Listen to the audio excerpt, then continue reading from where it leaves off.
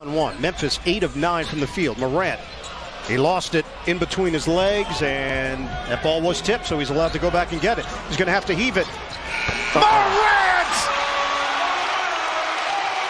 uh -oh. Jaw dropping!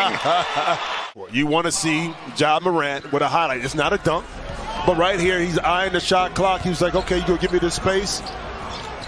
Mm-hmm. But it just all felt very natural.